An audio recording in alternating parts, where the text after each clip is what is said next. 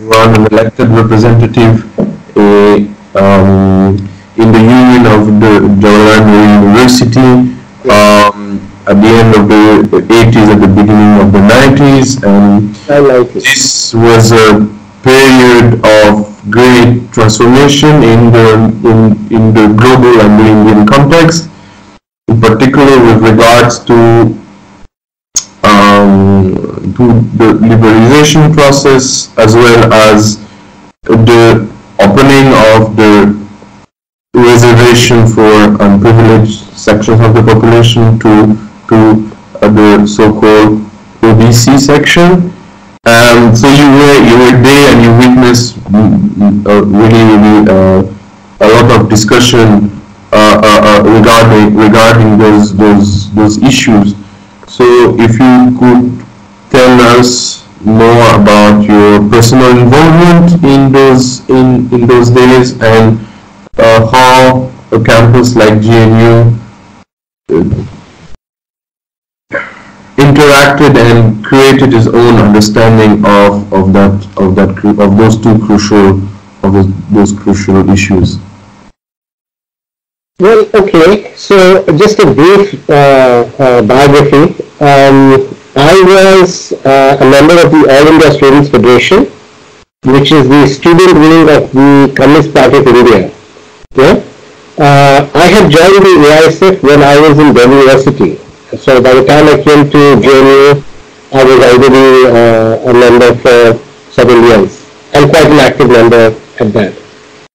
Uh, JNU was remarkable for uh, various reasons.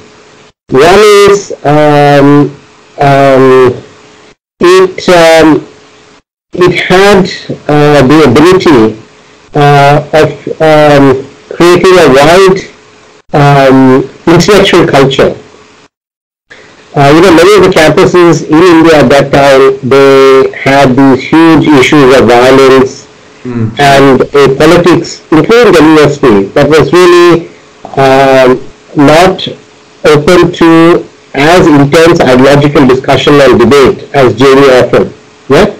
Partly, JV was just very um, uh, peaceful. It was not a violent place. People could express their points of view.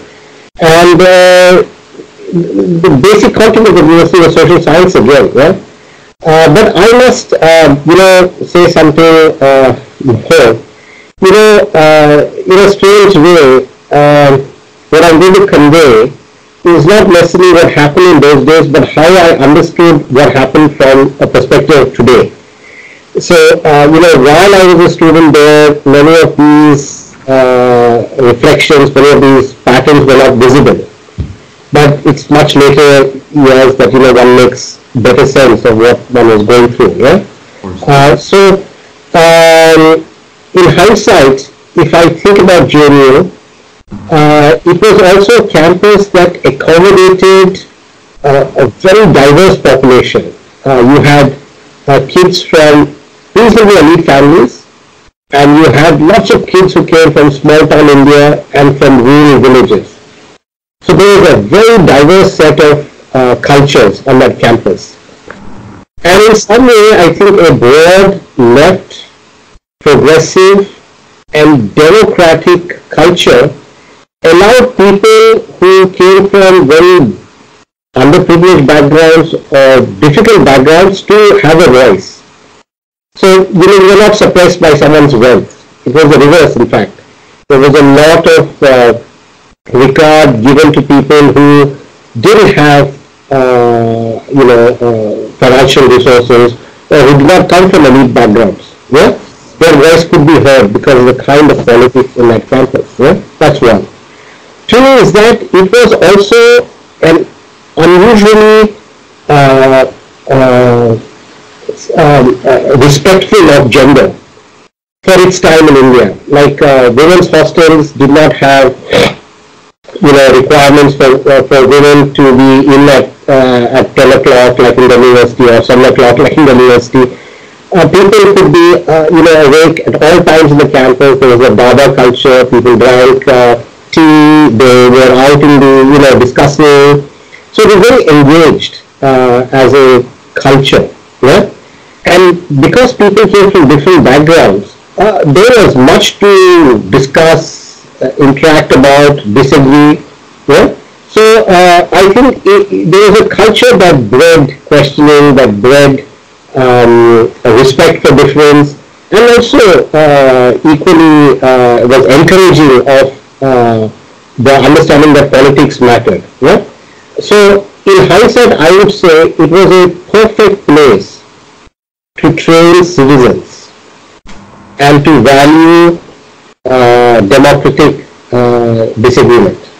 Yeah? So what, uh, the way I understand it today, historically and ideally, the modern university was between the market and the state. So we could criticize both. We could criticize the market and we could criticize the state. And that was how uh, political citizenship was being created. You know? And I think JNU really uh, offered that uh, opportunity and potential. So uh, I would say as a university, uh, it really encouraged an idea of India that could negotiate difference, that could celebrate uh, plural uh, and diverse thinking, even though there was an overall culture of uh, left, but people make a mistake, you know, it's not as in left as in, you know, um, uh, just uh, people wanting to radically overthrow the state or something like that. Uh, in India, there are many issues uh, of injustice, inequality, and a left framework could actually address many of them. Right, by by by pointing out that you know uh, you have uh, uh, caste oppression, you have economic injustice, you have all levels of inequality. And that needed to be uh, debated, negotiated, challenged. And, um, you know, the left tradition was very helpful in that kind of secular uh, language, uh, right? It was a very helpful way of engaging with those uh, uh, problems of our society and disagreements. Uh, but then also I would say when young people growing up, you know, you're going to say extreme things, uh, you're going to say harsh things, you're going to... So uh, uh, if we, if, um, we, if we now take your, your uh, story and your insight outside of the territory of, of, of JNU, yeah. um, would you say that um, university spaces uh, whether whether they reproduce um, political capital in the form of new leadership for political parties, or or creates a form of citizenship that is not always in tune with the with the dominant narrative. Um, would you say that the campus spaces uh, outside of, um, of uh, certain institutions such as JNU um, are instrumental in forging in forging a new generation of, of um, uh, political of, of political citizens. Okay, let me break that question uh, in a different way. I think uh, today uh, if you have such high fees, you are trying to reproduce privilege. Okay? Uh, a good public university must produce an informed citizenry. Right? Uh, you cannot produce that by putting people in debt. Okay? JNU did not put us in debt.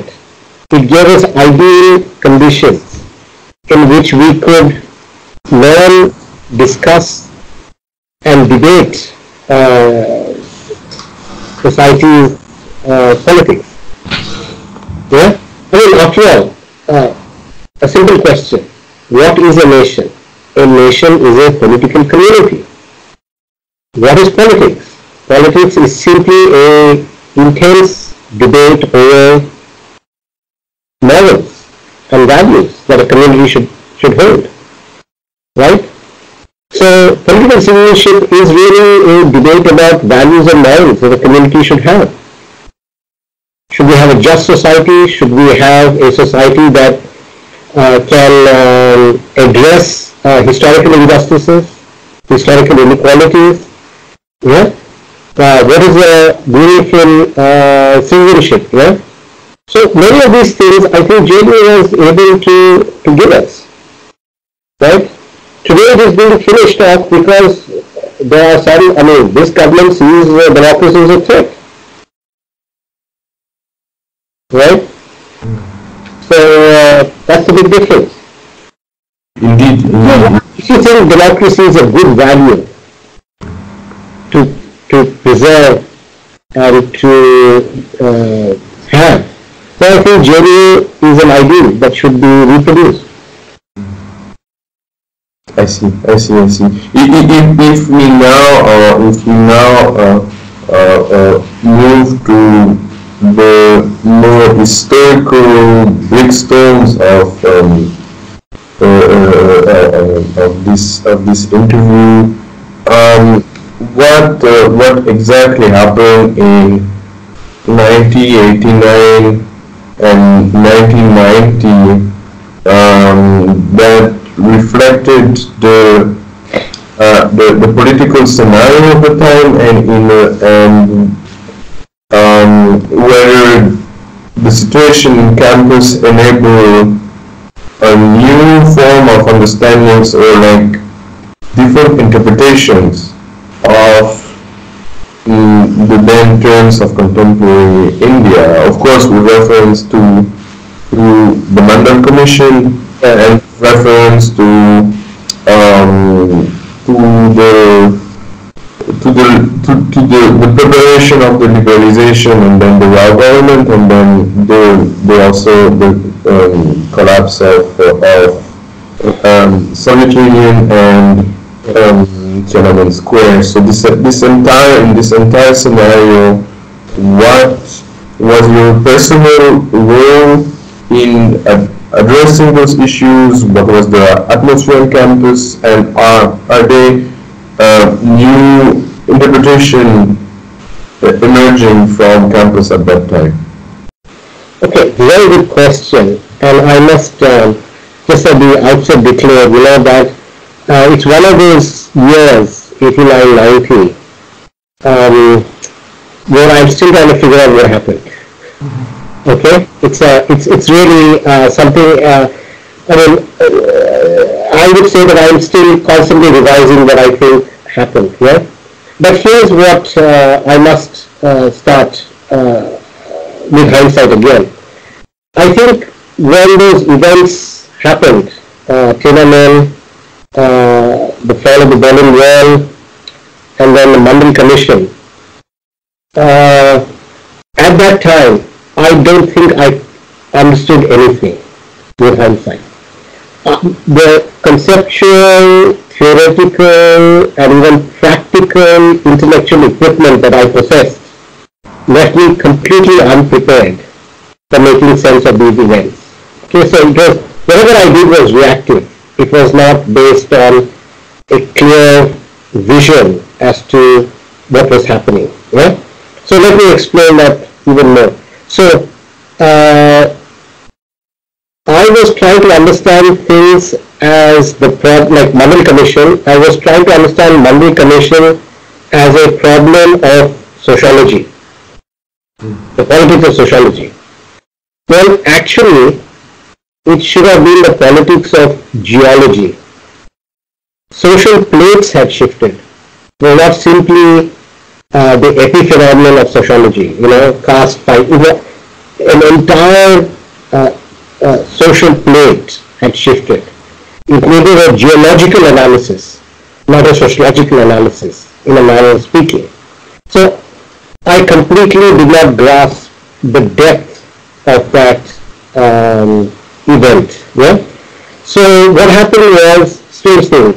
People who generally uh, championed uh, progressive uh, left ideologies were for uh, uh, caste and class justice suddenly we find them arguing that Mandal was wrong, that it would aggravate the caste crisis.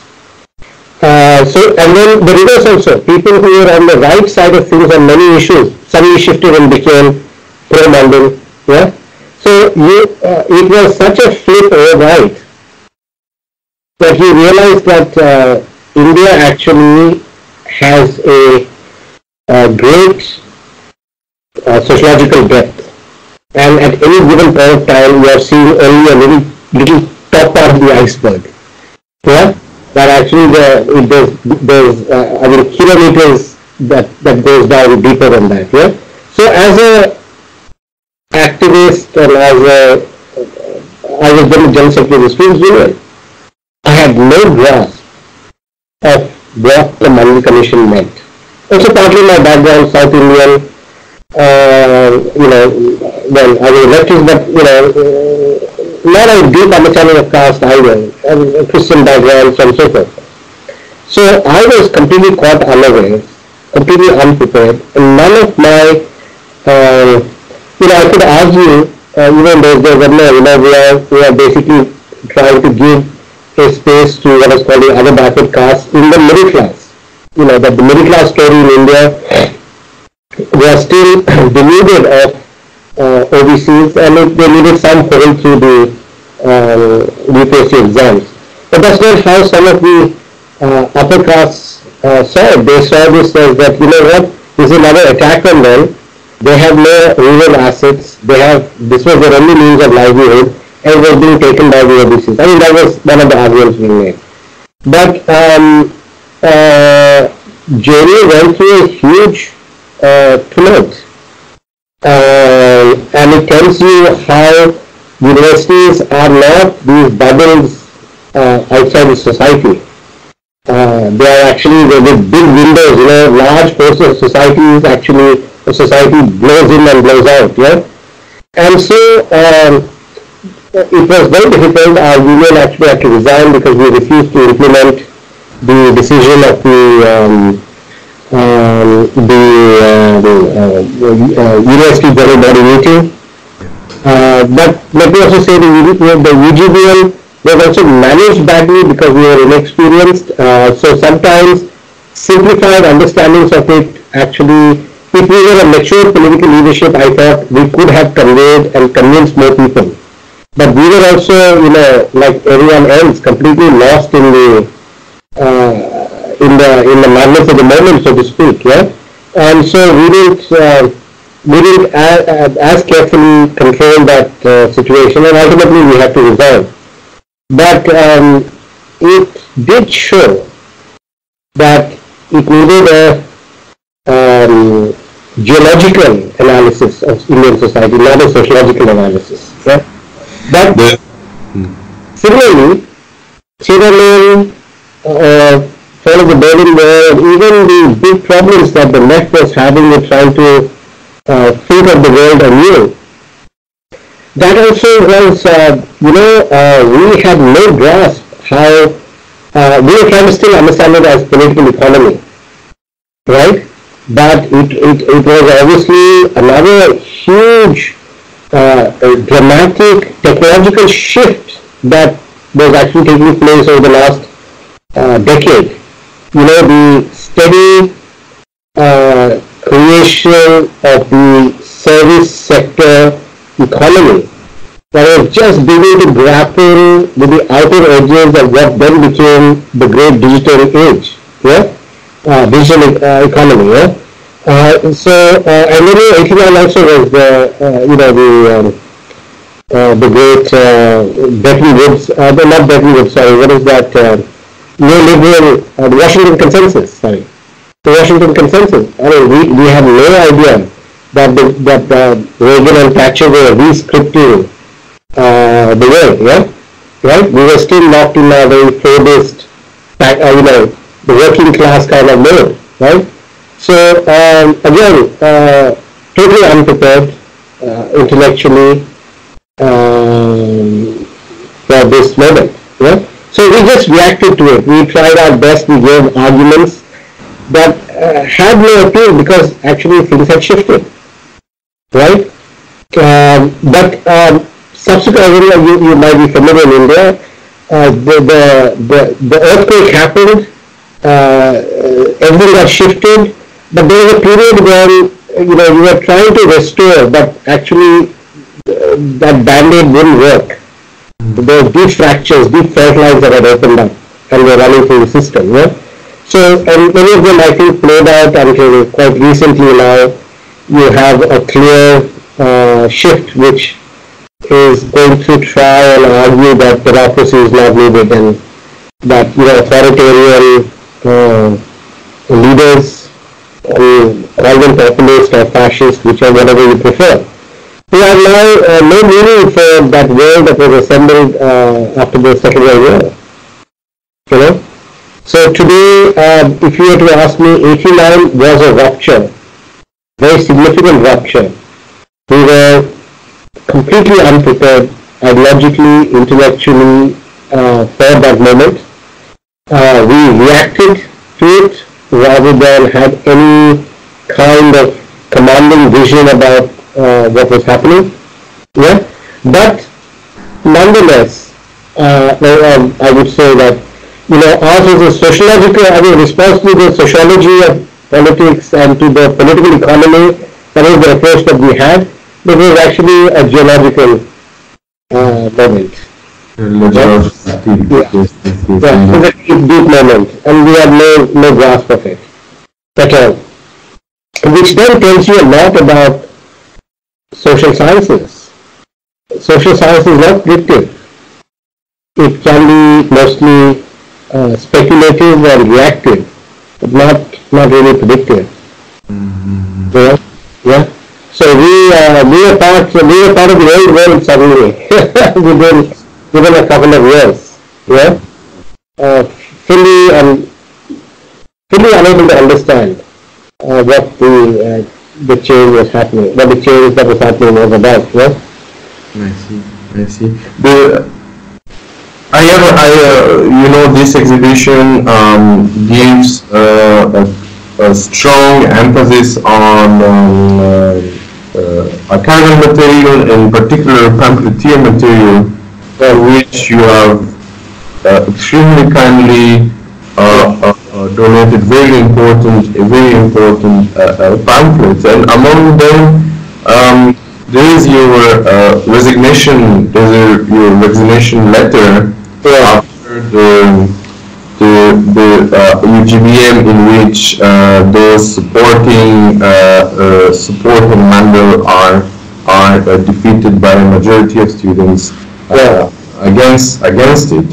In the tone of this of this um, of this pamphlet of this letter, which is a public pamphlet or a, a letter, is full of the the the emotion of the moment, the the, the dramatic, dramatic, as you say, geological shift that that is happening and unfolding uh, uh, uh, um, before you, and ultimately the the origination that that comes through. Um, I wanted to to um, to ask you to to which extent those emotions are part of the pamphleteer style that exists in the object of the pamphlet itself as it serves as a as an interaction between the activists and the students, as a tool of socialization, but as, as a tool of expression of the injustice and the the, the, the, the, the political energy expressing at, um, at the time, and whether that pamphleteer style it goes beyond the pamphlet, pamphlet object and also defines a little bit the mode of expression of, of activism in those, in, in general, in JNU in particular, and more specifically in your in, in your in your experience of it, the uh, uh, the reaction to to the the Mandal Commission. Well, you know, politics is an art. It's not a science. Uh, you cannot uh, you cannot think of politics as something abstract, formulaic, uh, yeah, it is actually a, arrangement uh, both at the at the person's subconscious as much as at the conscious level. Yeah, okay. Uh, so uh, emotion, emotional states and a kind of uh, moral idiom, they're all linked. Yeah, alright? Uh, and they become extremely linked when you argue for uh, higher purpose ideas, ideas that belong to a larger uh, sense of the world, right? Okay, right? Um, so, uh, so the uh, uh, the whole question of politics being an art uh, is very central to that. Yeah, uh, an emotional, a, a moral, yeah, uh, engagement, right? Uh, it's not uh, it's not like uh, please vote for me because one plus one is two, right? Okay. Um, even though a lot of the left language makes all these pretensions about you know being able to read society scientifically and how um, we need to grasp things uh, through secular reasoning. Uh, that is true, uh, you know, that it's an important element, yeah, uh, because secular reasoning helps you uh, try and not allow any emotions cloud your judgment, yeah.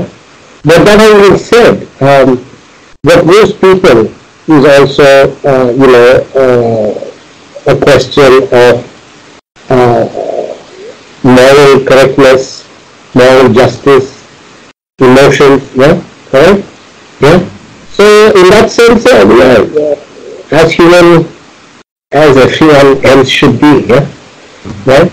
So um, I think if you see those pamphlets, I can't remember them now, but I remember that time we were very, very overwhelmed uh, by um, by thinking again, know, how could how could people not want justice? Why should they be so against a, a, a, a section of society that's been historically deprived?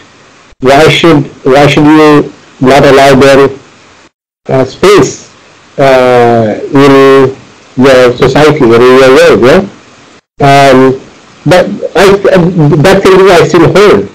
Uh, but um, I will also say this much that, know, uh, uh, there was also some indication about how uh, jobs were also a very intense uh, issue.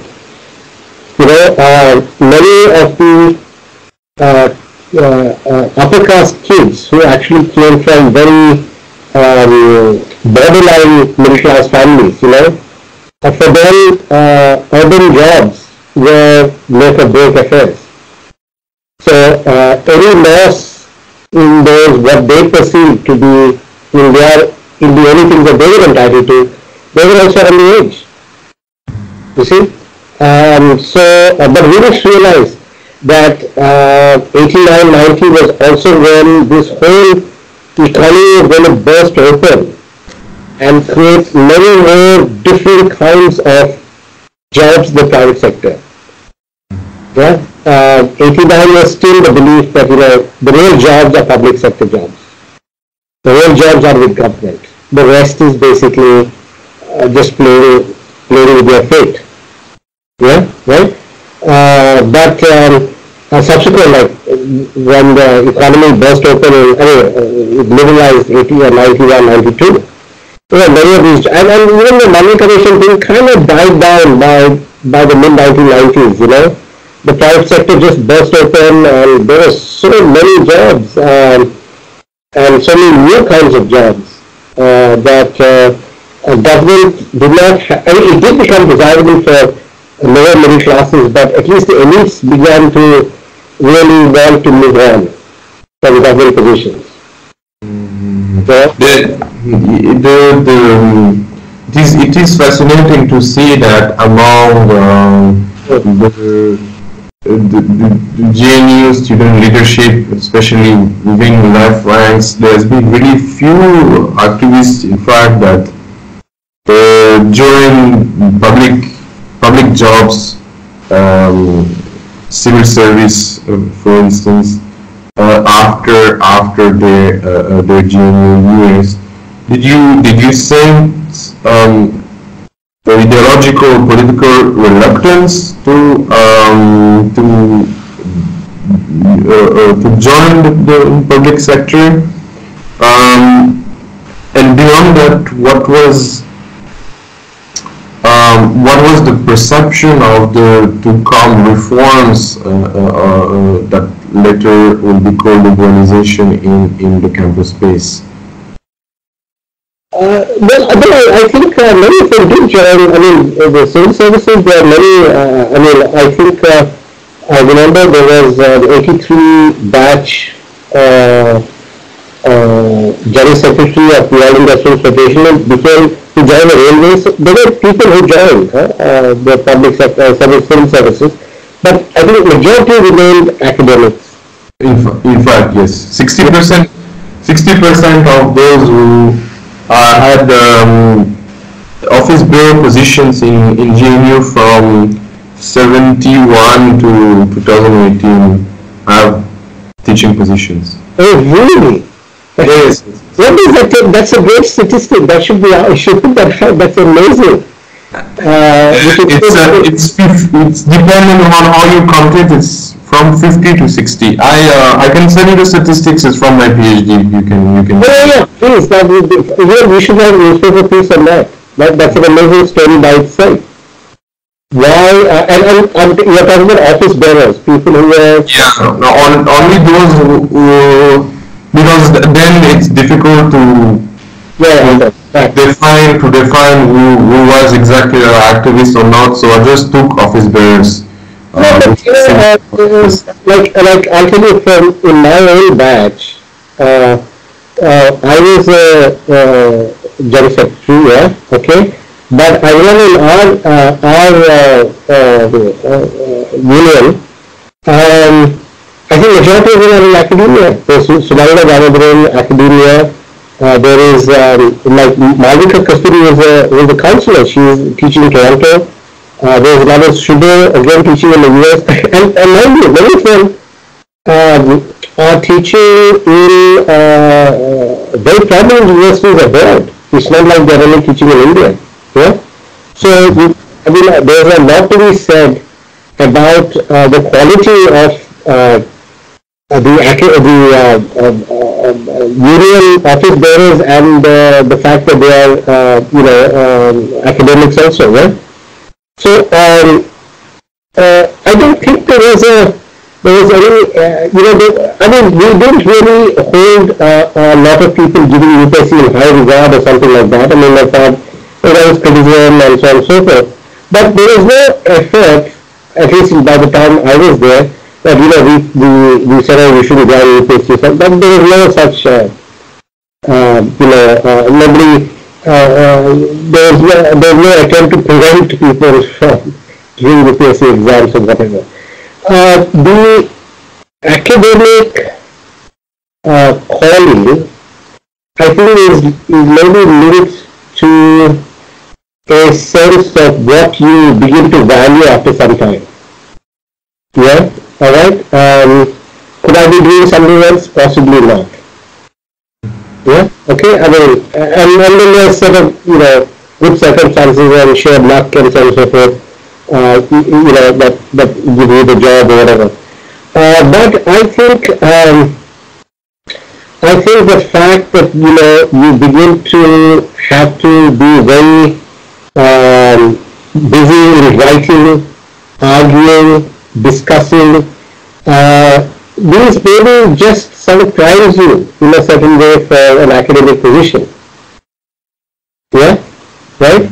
And, uh, you know, all of us have to give speeches, you begin to learn how to do that. It's like you can even go to the classroom and it's very helpful, yeah, that uh, you, you can speak in a class and speak, yeah. So, um, at least in my case, um, I think one set of um concerns gave way to another set of concerns.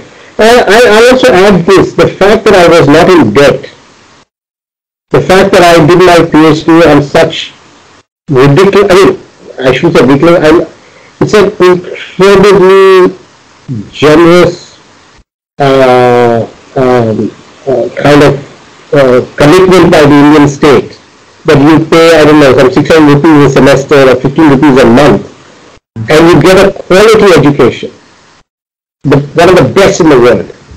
Okay? Um, and uh, you work your PhDs, your, uh, your MPhils, your, all your engagements are of a very high quality, thanks to a lot of your professors also, you know, who are all very accomplished. And, and know one more thing, Junior, even as, as a general secretary, when I was in the classroom, when I met my my my supervisor now, it, it didn't matter. You better deliver on the paper, huh? yeah. I mean, even C plus if you don't, uh, you know, crack up on your abilities, yeah? right? And it was embarrassment if you did not, uh, if you did not do well academically as well. You know? Um, so, uh, um, in fact, uh, I did very badly in school and I did really badly in college before I got involved in politics. And after I got involved in politics, uh, political organizing, I started doing well in school. I, I started doing well in research and PhD and in academia. You know what I'm saying? That an engagement with life at this level actually turned me into academic. Definitely. Which is considered a good thing. I mean, I mean some people are not take, take highly of being an academic, but uh, to me, there's a clear correlation between uh, political engagement and academic uh, training and learning. Yeah? Definitely, even though, even though later on with the emergence of uh, alternative left group, that emphasis uh, became less prominent in my in my understanding of it. That more like AISF and SFI form of political engagement uh, was giving a lot of emphasis on the interplay between study and struggle, as as the slogan goes but that later on with, with uh, for instance, AISA in campus, that emphasis, that emphasis on this balance or this uh, in, inter, interaction between good studies and good activism uh, became more unbalanced and that the, the premium of selfless commitment became more prominent as compared to uh, to, to, to the, the old uh, AISF approach to, to, to activism? Well, I think this has a lot to do with the fact that, you know, AISA actually grew uh, by a large part of their initial activists coming from much more poor backgrounds. Mm-hmm. Uh, more intensely poor backgrounds than some of the AISF SFI guys. Mm-hmm. So I think we were mostly middle class.